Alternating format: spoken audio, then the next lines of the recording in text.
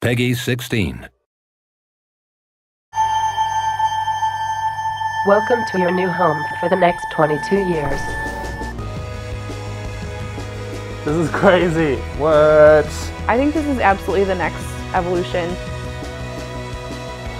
Video games always want you to feel like you're playing another character. This might be the closest I've ever felt to feeling like I was being that character. So he sounds like he's pretty upset because his girl was taken somewhere.